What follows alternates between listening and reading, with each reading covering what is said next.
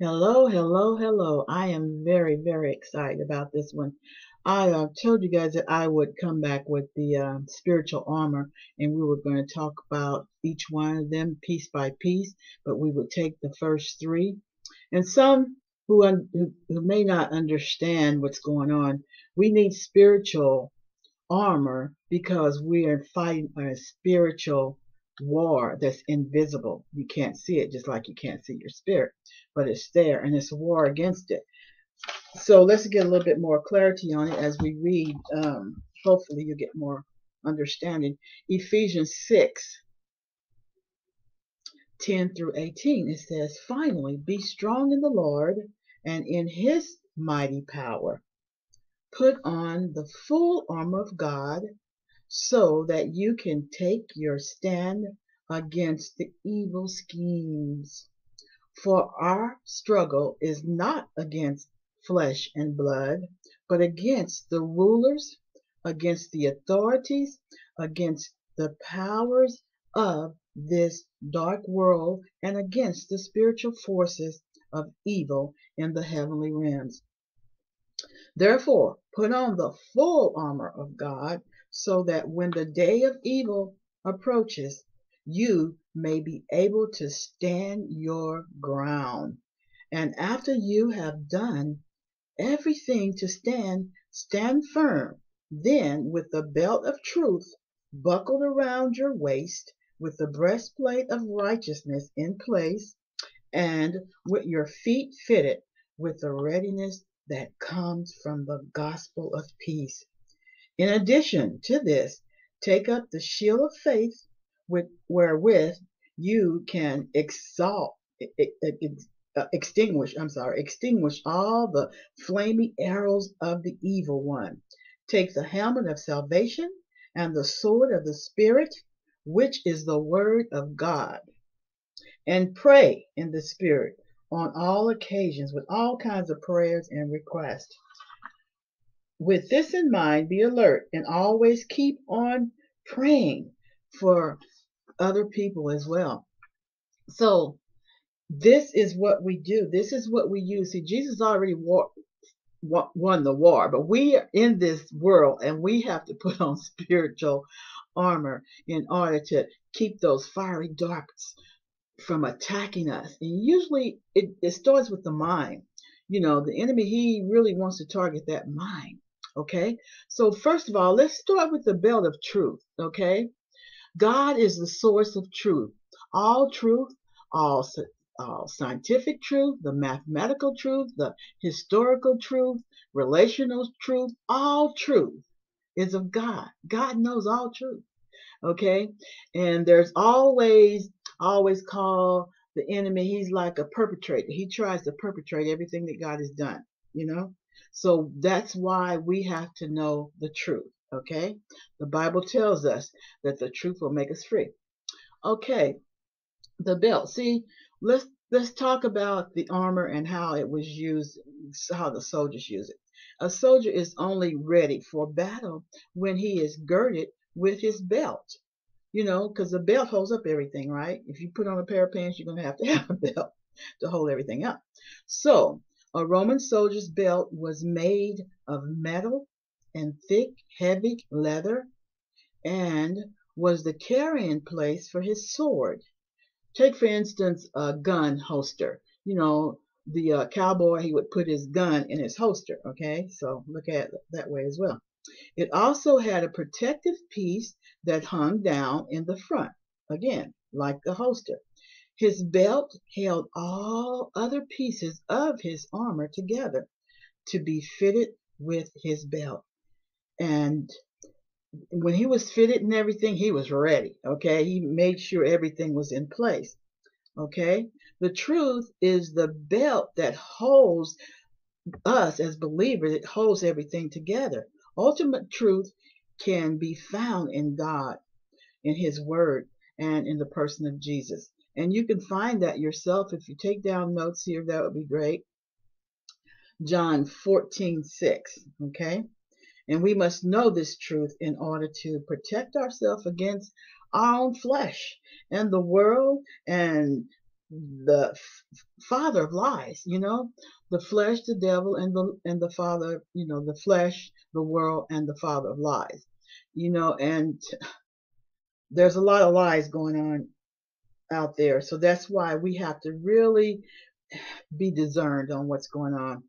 Truth is the ground, the, the ground for us to remain in. You know, God wants us to remain in that truth. He wants us to know the truth. Um, and um, again, there's so many falsehoods out there, you know, and that's the enemy's weapon. You know, when you if he can get you off course by lying to you and telling you there's another way to the Lord, you know, you can be good, do good, and you'll get there. You know, a lot of people will just go ahead and act, you know, just do, just do whatever they want to do. And every now and then they might give, you know, say, I, you know, I gave because I, I love people and I know when I give them, they're not saying it outwardly, but they think if they do good and be good, that they can make their way into heaven and carry along all these things in our heart, you know, all the, just do whatever you want to do, but every now and then give to charity or do whatever, you know, give to someone that's showing love, you know, uh, but that's not the way. You know, the Bible tells us the way to the Father is through his son, Jesus Christ. It, until we come to that knowledge, that understanding that our goodness is like filthy rags before God, then we will continue to believe those lies where you, if you do good and do that and do this, you know, you can, you can get to, to, you know, you can get to heaven. But that's not true. And you think that God hears because you're a good person. No, that's not, you know, God said all have sinned and come short of the glory of God. You know, in that case, then Jesus wouldn't have had to die, you know. But anyway, i'm moving along, it says, how can we use this belt of truth? Okay.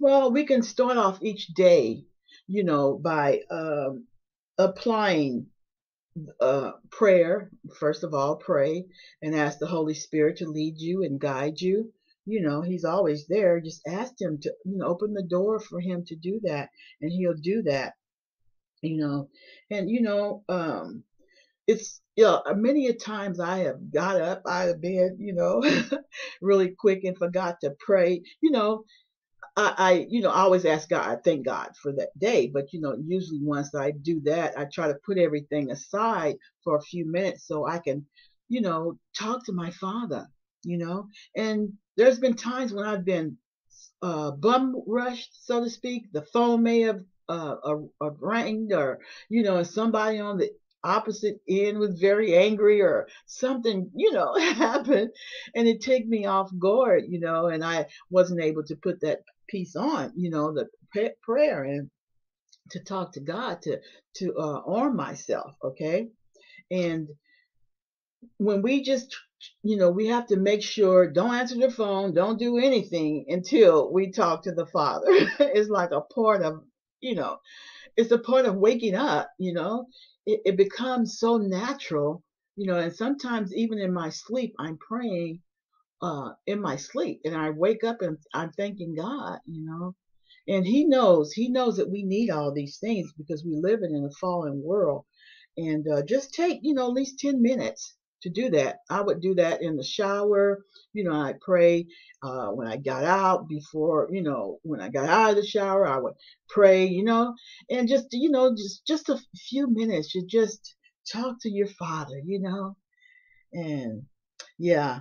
So, and then even at the end of the day, you know, and you know, I, I watch TV. I, you know, you have to work. You got, you know, a lot of you have families, you have husbands, you have children, and you know, you don't have that much time. But try to take a few minutes at night to thank God for the day, you know.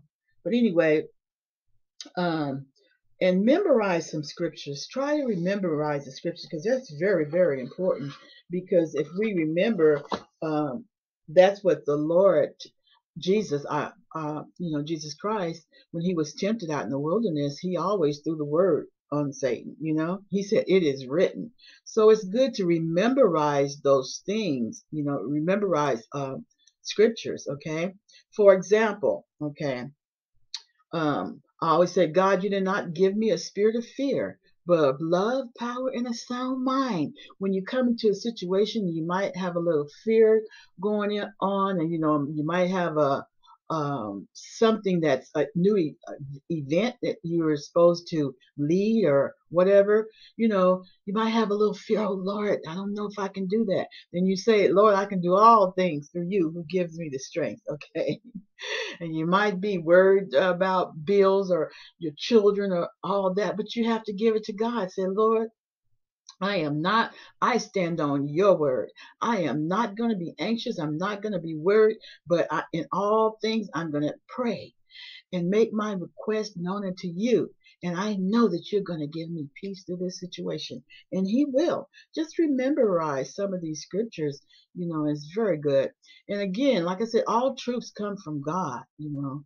And uh, okay, let's go to number two, which is the breastplate.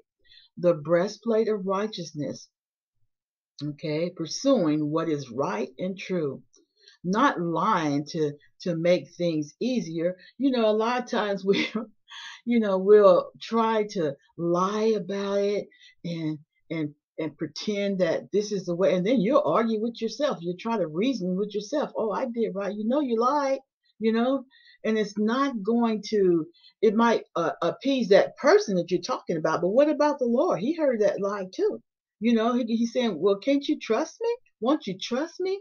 A lot of times we think that if we lie, that a person will buy that quicker than the truth.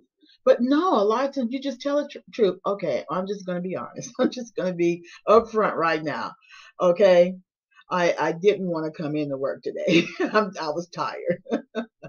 you know, rather than making up all the excuses. You know, my grandma died, and you know, and uh, just a lot of things, you know. Dog died, you know, and all these things. So it's better to just tell the truth, you know, face the truth, and you know, God will always see you through that thing. You know, the truth is better than any kind of lie because you don't want that door open, you know, for the enemy, and then you don't want to to feel crummy later on. You know, oh, I told that big old lie. Now I'm gonna have to, and your focus is all messed up, you know, and the darts are ready to be fired out. The enemy is ready to, to hit you with those darts. So make sure you have on the righteousness and the um the the breastplate of righteousness, you know, and we have to remember where that came from. Jesus is our righteousness. He's Jehovah Tsidkenu. He is our righteousness. Okay, remember what happened on that cross. He took our sins and gave us his righteousness, the great exchange. So we have to remember where that righteousness comes from, okay? Okay.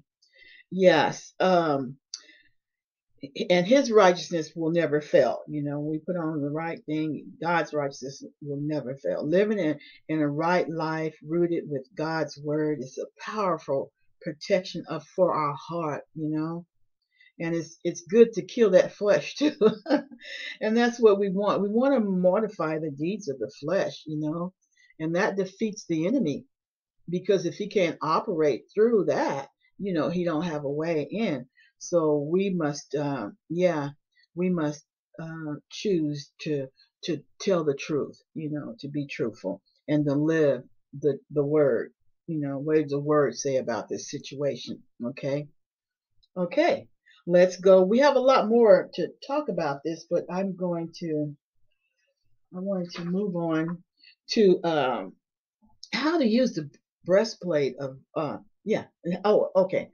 Yeah, how to use it. We talked about what it was, okay. The righteousness is the, the blessed, the breastplate of righteousness is um, God's righteousness, and we must tell the truth, okay. And, and, uh, through that we live right and rooted in Christ Jesus, you know, to be abiding in him. That's the truth. Okay? And how do we use this? Okay? Um we okay, I like to give uh examples. Um sometimes uh, a lot of times like I said when you wake up in the morning there's you know, you might be bombarded with situations and things like that. We must uh, watch what we listen to and and and watch what we hear. You know, don't allow the the internet to feed our soul. Don't allow our the the gossip and, and things like that feed your soul. When people are talking to me on the phone, a lot of times they start talking out. They you know they're good, but let's pray, or, or they're talking about something you know really wholesome, and then all of a sudden turn the corner. Here, here I am. Found, I find myself gossiping with them. I said, oh, Lord, forgive me. And you know, and that takes you to an area where you're judging people, where you're finding fault, and where, you know, and that's when the enemy can shoot more darts in you, you know, and then that person will carry off that you know the, the the conversation we had well so and so pastor said this and she said this and you know? And i've learned how to be quiet or move the phone away from me so i can't hear all that or say, hey, can we can we talk about this later? Can we can I get back with you? You know, because we we can't let anybody uh, project their heart upon us. We can't let all this stuff in our lives, in our hearts, in our spirits, you know, to corrupt it. You know, so we have to um, protect our hearts, you know, and this uh, breastplate protects our heart. Okay. Okay. The okay when we put that on. Okay, let's talk about um um yeah when we pursue the right thing and not having to lie all the time it's much much easier you know because you know we all know what a lie will do Wow, when you tell one lie, you gotta tell another lie, you gotta tell another lie, you gotta tell another lie, another lie, another lie, and a lot of times you forget the lies that you've told, you know? So just tell the truth. Okay. All right. Let's talk about this the feet fitted with readiness. Okay. All right. That's the shoes of uh, carrying the peace and the and the gospel when we carry the gospel of truth. I was talking about this, and, and it says even if you have the sharpest sword, but have on the wrong footwear, you will be a casualty to war. You could slip and fall and, and kill yourself, or the, enemy will kill you. I was talking to my nephew the other day, and he was telling me that he was engaged into a, a fight with somebody, and he had on the wrong kind of shoes, and he slipped and fell, and he lost that fight really quick. He lost, and um, it's, that's why we have to have on the right shoes, okay? Because a Roman soldier his feet was fitted with the sandals. Okay, these certain type of sandals, protective gear sandals. That's what they um these they used, and they they had extremely thick thick sole, and they wrapped around the the soldier's ankle in a way that to protect you know protect them from blistering as well. Okay, um, and they also and and, and there was spikes on the bottom to help them to stand firm, okay, as they travel. Uh, this helped them for, you know, to have a firm foundation, you know, to stand like a soldier, you know, ready, okay? And we believers, we must, we must stand firm, have a firm foundation in the gospel, okay? As believers, we have peace in knowing we are secure in what Jesus has done for us. You know, we just stand firm knowing that um, um, in Matthew, I think it's in, it's in he was talking, yeah, in the book of Matthew, it, it talks about how we must um, um, stand firm. I don't know the scripture offhand right now, but um, hmm. but you know what? I, I I like to to uh, think about things that has done has happened to me um, and God has delivered me like a, um, a testimony of something that happened where I didn't have on the right shoes and and I go back to that and I think about how I lost it. And you know, you keep a if you keep a archives of of like testimonies and how God delivered you and the situations that you were in, it helps out a lot. it helps me a lot because I go back and I can because you can't remember all the things that you know that's happened since you've been saved or, or all the testimonies and all those things but it's good to, to you know try to i call it an archive or you know to try to write down some of those things and remember how god got you out of different situations and not to get back in that same type of thing okay? So it's good to uh, jot those down okay? And and and we're and how do we use how do we use this okay? How do we use um the these sandals okay? How do we use them and you know we can't wait until something comes up. A lot of times we wait until trouble happens and then we try to you know hurry up and put them on. So that's why it's so it's so good to put them on before you leave the home. Somebody said the other day said hey I, I dress i put my armor on when i'm when i first wake up you know? And we have to we have to put on that armor. We have to remember keep these things in our minds and know okay and be ready. Be ready. Okay. Don't wait until something happens. Build your foundation on a daily reminder of of the hope of Jesus Christ and what he promises he, he has given us okay? And again, share your testimony. You know, the other night I was um at church and I didn't know that, and you know, we were talking and I, but my testimony just rose up and I hadn't planned on sharing that, but thank God I did because it helped people, you know, it helped so many people because I opened my mouth, you know, so open your mouth and, and share what God has done for you. Okay. It helps you. It helps them just to remember that. Okay. I can't stress that enough, you know. Uh, but living an example, you know, we have to live an example, and, and and and the Bible tells us that we might be the only Bible that people read. What we do, you know, with our lives, you know, it affects them, and that's why it says that we are the light of the world, you know, and we have to, you know, and the salt. We are the light, and we are the salt, and uh, the light it talks about, you know, when we're doing things, if we're walking, if we're the light of the world, the light of the world brightly shines so men can see, men and women can see our good works. Everybody can see our good works and the Father above will be glorified, you know? Yeah, so we're not put on this earth for nothing. And then we have to you know, not only be the light, but we have to have the fruit of the spirit, you know, that be like a tree uh, full of fruit so people can eat from that tree, you know. And we know the the fruit of the spirit, you can dry it down, is found in Galatians um, 5:22. Uh, it talks about all the the the fruit. Okay, so yeah, we must have the belt of truth, the breast breastplate. I don't know why my tongue get tied on that.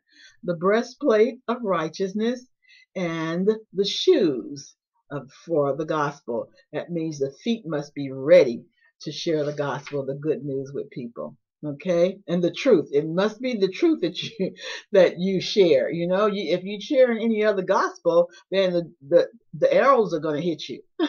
Remember the the the seven was the um the sons of Stephen, Steva, the seven sons of Steva, they uh they went out to share the gospel. they went out to witness, right? But they they didn't really know the Lord. They went out probably with, with like what I talked about earlier, a good person. They went out because oh I love the Lord, but they didn't accept Jesus Christ in their heart. And the demons told them, Paul I know, Jesus I know, but who are you? And he and he sent them running down the street, you know? The devil turned around and chased them. And see, that's what I'm saying. You have to know that you know. And Second Timothy talks about it to study to show ourselves approved, you know, rightly di- dividing the word of God, you know, not being ashamed, not getting out there ashamed and not knowing what you're talking about. You know, put this word in your spirit, tattoo this word on your heart so you'll be ready to give an answer. Okay? But anyway, you know, those are the three. We're going to come back um, with the other three. Well, it's actually it's four, okay? We're going to talk about that next time. But I hope you got some nuggets today, okay? I love you and you know God love you. Until next time.